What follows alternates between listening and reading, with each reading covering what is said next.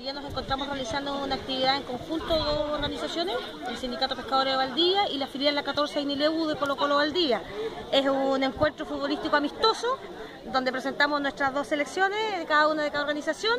Eh, se celebra en un ámbito festivo, eh, sobre todo de generar redes y sobre todo también manifestarnos contra las diferentes eh, manifestaciones de este sistema capitalista que nos aqueja, tanto ella, los empresarios grandes que con sus actividades lucrativas han dejado el sindicato pesquero realmente en situación precaria y nosotros también como colocolinos contra las sociedades anónimas deportivas que también son grandes empresarios que hoy día nos han quitado el patrimonio mobiliario que tiene Colo Colo, que es como el estadio, nos han quitado, digamos, nuestro plantel, nos han quitado, digamos, las posibilidades de ir al estadio como socios tranquilamente.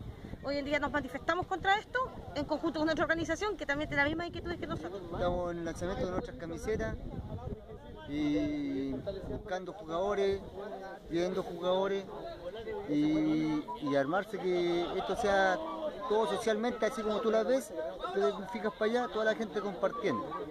¿Cachai? Toda la gente compartiendo sin ningún problema.